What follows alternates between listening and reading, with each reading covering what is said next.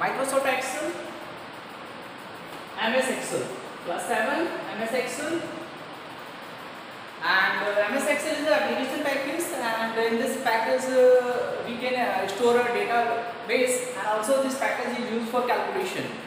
Okay, uh, and simply we can say this package is for multiple work. Using the Excel package we can store data. After that we can use a uh, create a uh, graph. We can create a chart in a different, format. Right. So how will we do? But before that we need to uh, learn the full diagram, full window of Microsoft Excel. Okay, and uh, we know how to start the Microsoft Excel. It's a very simple. Uh, start, I want to write here start. This is a very simple. All program. Then the Microsoft Office, and after that you can see the Microsoft Excel. Okay. So this is the process to start a Microsoft Excel. Click on the start button, then go to the all program, the Microsoft Office software, and then click on the Microsoft Office. After that, within a few seconds, we can see this window on a computer screen. Okay, and uh, in this window at the top, the top, we can see this bar and this bar indicates some information at the top. In the right side some buttons and in the left side some buttons. Okay. So this bar is called this bar is called a title bar. Okay.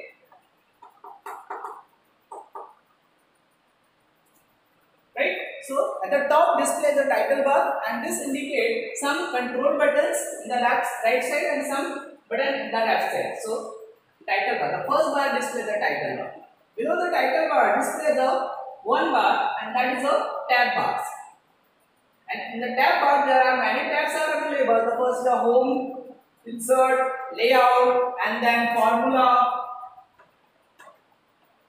Okay, it is so there are many tabs are available in the tab bar.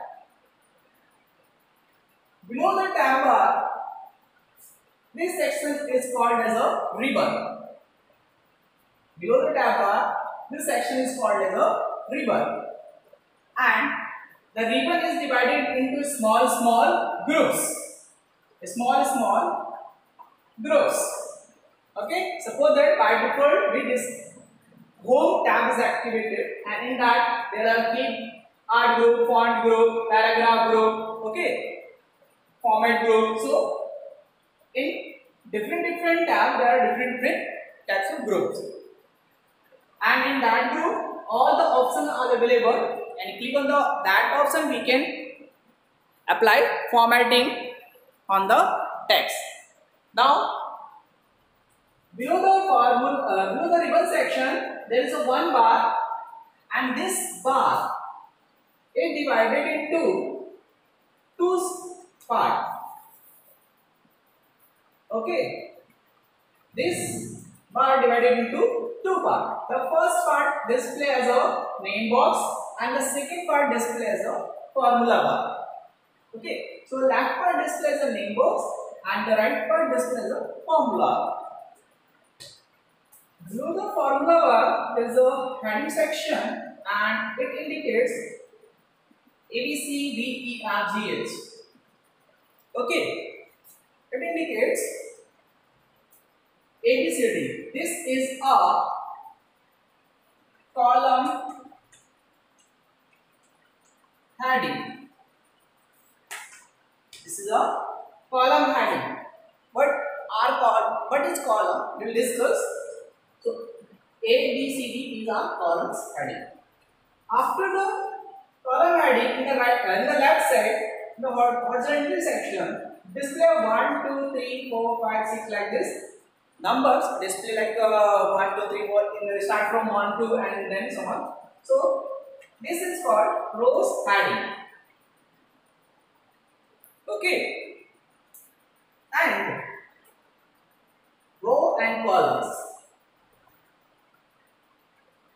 And the whole area, center part as a work area and this whole area display in a tabular format.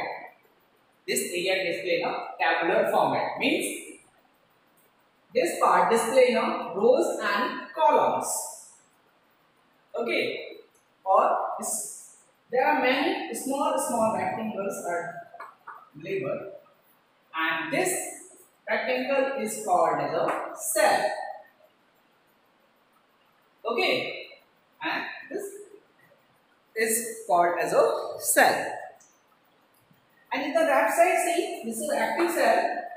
Active cell that means uh, when we click on any cell, if we are here, if we click on any cell, okay, then a thick black border, okay, then differentiate it from the rest of the cell, okay. If we click on this, so it's a black border display in this format. And this is a differentiate with some other cells. That means this is the active cell. We are in that place. Okay. We are in that place. In this cell. So that is a active cell. And then now next is status bar status bar display at the bottom of the Excel sheet this status bar okay gives you information about the complete selection. Okay suppose that you are in uh, which place so the status bar display the information. So you can see status bar and you can identify your current location. And it also include the name of the current selected command. Okay. Now the next is sheet tab. This is also the appear at the bottom of the sheet above the status bar. And the sheet tabs by default there are three sheet display. Sheet 1 sheet 2 sheet 3 and the by default the name of the sheet is sheet 1 sheet 2 and sheet 3 and if you want to change the sheet name then you can change. How will do also we'll discuss. So in Excel window by default display three sheets, sheet 1, sheet 2 and sheet 3. Okay.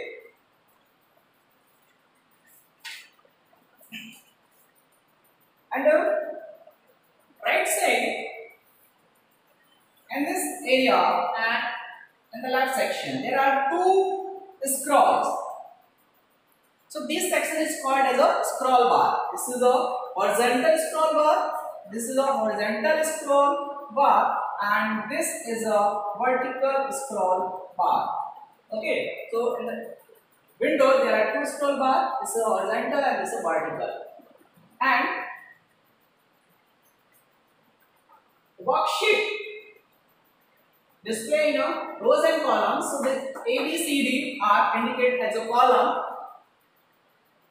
Okay, so the column address start from A, column address start from A and finish on X F D.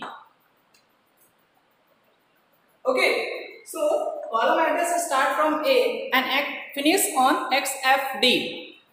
Also, we can say the range of the column is 1 to 65,000, sorry, 1600, 1 to 1600, 384. So, in a one seat, we have 16 and uh, 16,384 columns.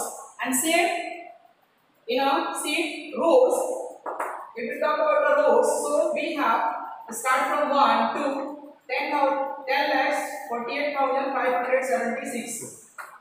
Okay, so in a first one seat there are 10 lakhs 48,576 rows. So simply we can say in a one seat we can store 10 lakhs 48,576 records. Okay. And this is the block area. All the information we can do here like a A, B, C. If you want to write any value. Okay. So like this we can use store data. Okay. At the top display the tabs, ribbon, quick access toolbar, name box, active cell, rows, columns, status bar, And this side also this is the ribbon, column heading, formula bar and some scroll bar. Okay, that's it.